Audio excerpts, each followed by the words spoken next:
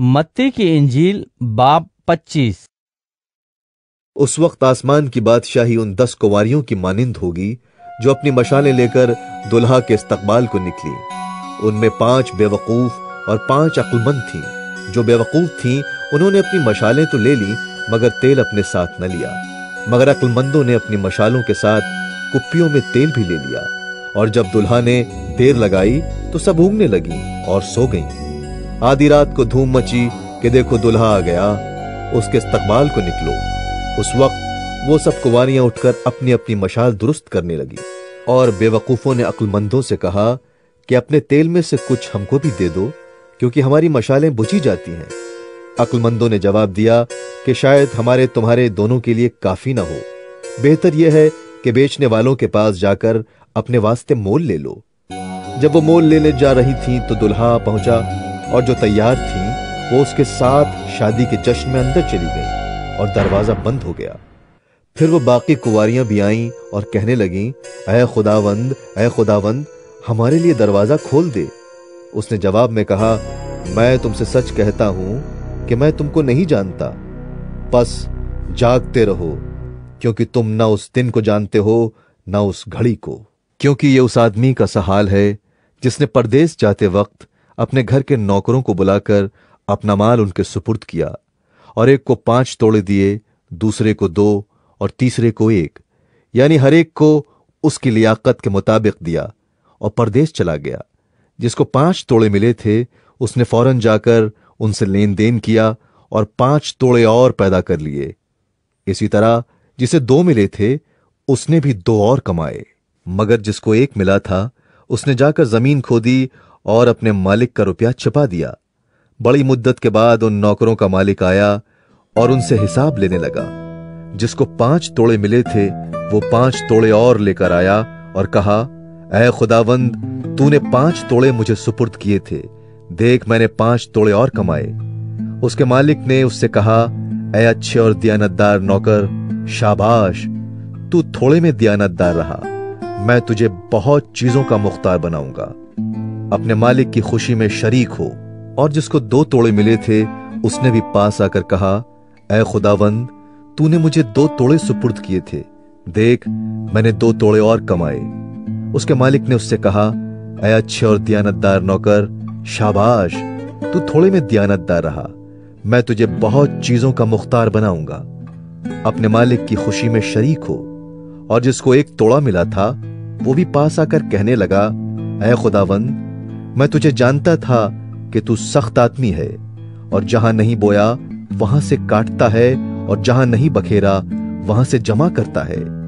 बस मैं डरा, और जाकर तेरा तोड़ा ज़मीन में छपा दिया। देख, जो तेरा है, वो मौजूद है। उसके मालिक ने जवाब में उससे कहा, ऐ शरीर और सुस्त नौकर, तू जानता था कि जहाँ मैंने नहीं बोया, वहाँ से काटता हूँ, और जहाँ मैंने नहीं बखेरा, वहाँ से जमा करता हूँ। बस तुझे लाजिम था कि मेरा रुपया साहूकारों को देता तो मैं आकर अपना माल सूद समेत ले लेता। बस, इससे वो तोड़ा ले लो, और जिसके पास दस तोड़े हैं, उसे दे दो। क्योंकि जिस किसी के पास है, उसे दिया जाएगा, और उसके पास ज़्यादा हो जाएगा। मगर जिसके पास नहीं है, उससे वो भी जो उसके पास है, ले लिया जाएगा। और इस निकम्मे नौकर को बाहर अंधेरे में डाल दो। वहाँ रोना और दांत पीसना होगा। जब इब्ने आदम अपने जलाल में आएगा और सब फरिश्ते उसके साथ आएँगे, तब वो अपने जलाल के तख्त पर बैठेगा और सब कौमें उसके सामने जमा की जाएँगी और वो एक को दूसरे से जुदा करेगा, जैसे चरवाहा भेड़ों को बकरियों से जुदा करता है और भेड़ों को अपने दहने और बकरियों को बाई खड़ा करेगा। उस वक्त बादशाह अपनी दहनी तरफ़ वालों से कहेगा, आओ मेरे बाप के मुबारक लोगों जो बादशाही बिना आलम से तुम्हारे लिए तैयार की गई है, उसे मीरास में लो, क्योंकि मैं भूखा था, तुमने मुझे खाना खिलाया। मैं प्यासा था, तुमने मुझे पानी पिलाया। मैं परदेसी था, तुमने मुझे घर में उतारा। नंगा था, तुमने मुझे कपड़ा पहनाया। बीमार था, तुमने मेरी खबर ली। कैद में था, तुम मेरे पास आए। तब रास्तबाज जवाब में उससे कहेंगे अय खुदावंद हमने कब तुझे भूखा देखकर खाना खिलाया या प्यासा देखकर पानी पिलाया? हमने कब तुझे परदेसी देखकर घर में उतारा या नंगा देखकर कपड़ा पहनाया? हम कब तुझे बीमार या कैद में देखकर तेरे पास आए? बादशाह जवाब में उनसे कहेगा, मैं तुमसे सच कहता हूँ, क्योंकि तुमने मेरे इन सबसे छोटे भाइयों में से किसी एक के साथ ये सुलूक किया, इसलिए मेरे ही साथ किया। फिर वो बाई तरफ़ वालों से कहेगा अय मलाउनो मेरे सामने से उस हमेशा की आग में चले जाओ, जो इब्लीस और उसके फरिश्तों के लिए तैयार की गई है। क्योंकि मैं भूखा था, तुमने मुझे खाना न खिलाया। प्यासा था, तुमने मुझे पानी न पिलाया। परदेसी था, तुमने मुझे घर में न उतारा। नंगा था, तुमने मुझे कपड़ा न पहनाया। बीमार और कैद में था, तुमने मेरी खबर न ली।